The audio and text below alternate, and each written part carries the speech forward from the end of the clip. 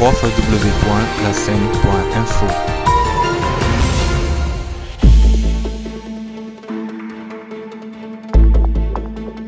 Qu'est-ce que ça représente aujourd'hui cette prise de commandement pour vous? Alors cette prise de commandement c'est euh, une immense fierté parce que c'est ma quatrième fois à bord.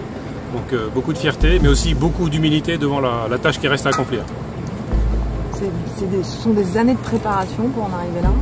Des années de préparation, un aboutissement. Le porte-avions, c'est de l'expérience incrémentale. hein. C'est une expérience qui s'acquiert au long de ses affectations sur le porte-avions. On a parfois des bonnes surprises, des moments plus difficiles, mais c'est c'est le fait d'être passé par ces moments difficiles qui permet ensuite d'arriver euh, plus sereinement, mais en étant euh, toujours, euh, toujours très humble, comme la mer l'impose, euh, au commandement du porte-avions. Vous avez évoqué le rôle de famille. C'est hyper important ce rôle. Oui, c'est très très important parce que euh, quand on part, on a besoin d'être euh, d'être sûr que les familles vont, tenir le coup et puis tenir tenir la boutique euh, euh, à la base arrière.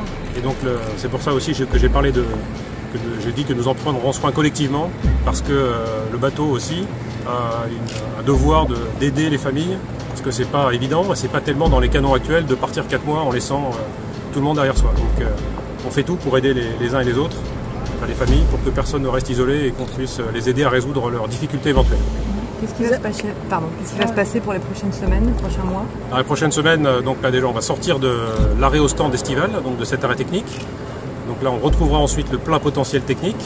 Le palier d'après, ce sera euh, retrouvé par paliers successifs, avec un entraînement progressif, la pleine capacité opérationnelle du porte-avions. avec un déploiement éventuellement Alors Après, nous serons prêts à répondre euh, euh, aux missions que te confiera le chef des armées, mais c'est bien difficile pour l'instant de savoir euh, ce que nous ferons, pas encore à l'abri d'une nouvelle surprise stratégique. La date qui vous est fixée justement pour être euh, pleinement opérationnel On va c'est dans le courant de l'automne, là, justement, on remonte par palier et pour, euh, pour arriver justement à cette pleine capacité opérationnelle avec le groupe aérien. Vous avez fait la majorité de votre carrière euh, sur Toulon. Ça représente quoi aujourd'hui de prendre le commandement de, de- de- du Charles de Gaulle? Ah, C'est bien sûr extraordinaire, c'est le plus grand et le plus gros bateau de la marine, et puis un équipage, un équipage exceptionnel. Et ce qui est extraordinaire sur ce bateau, c'est qu'on retrouve régulièrement, euh, régulièrement des gens qui ont déjà servi à bord. Euh, Je connais un certain nombre de personnes de vue.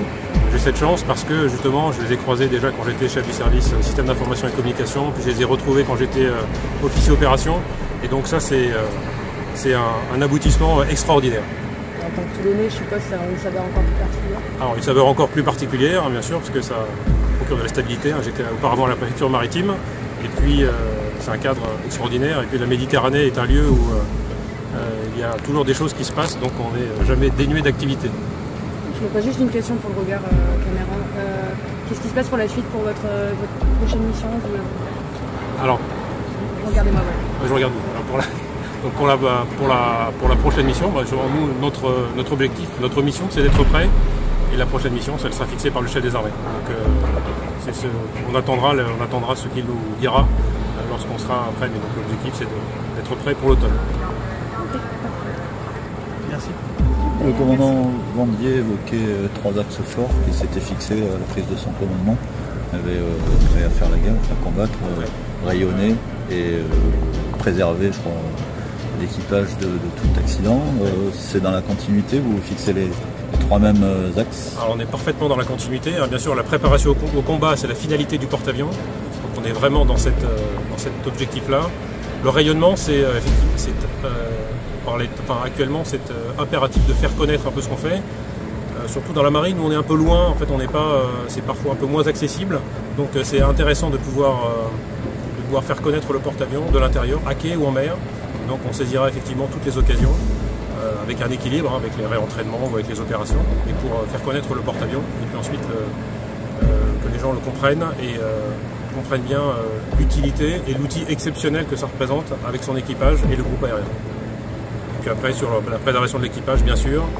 Euh, après, ce qui est important, c'est l'ambiance et que les gens soient épanouis à bord, soient heureux et travaillent euh, tous dans la bonne humeur. C'est comme ça qu'on obtient la meilleure efficacité opérationnelle ensuite.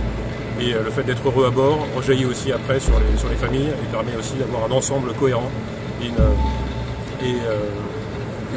je pense que cette bonne humeur permanente est une des clés du succès. Qu'est-ce qu'on peut vous souhaiter pour euh, ces deux ans à venir Qu'est-ce qu'on peut vous souhaiter? Eh ben, justement une belle, euh, une belle remontée en puissance et puis ensuite euh, de belles missions opérationnelles avant que le bateau n'arrive ensuite à l'arrêt technique majeur qui nous permettra de refranchir des paliers techniques. Juste un point de détail, euh, vous êtes né à Toulon, mais la presse auvergnate est là. Alors vous êtes plutôt toulonnais ou plutôt auvergnat alors, non, moi je suis né, moi, je suis né à Saint-Cloud. Ah, sur CV. C'est le RCT ou la SM Donc les choses Ah non, non, moi, alors, moi je supporte le RCT. je suis désolé pour la montagne, je supporte le RCT, comme ça je suis alors, né à Saint-Cloud, mais alors. Parce qu'après, est-ce que le Bourbonnais fait partie de l'Auvergne? Ça, c'est un débat ah, intéressant. Un débat. Voilà. euh, non, mais en fait, euh, les Malbruno sont une famille originaire de Bourbonnais du donjon près de Moulins-sur-Allier. Donc c'est pour ça qu'il y a la montagne et RCF euh, alliés. Et du coup, vous vous sentez plus euh, bourbonnais que, que toulonnais? Alors moi je suis toulonnais d'adoption et j'ai un attachement profond pour mes racines bourbonnaises. www.lacène.info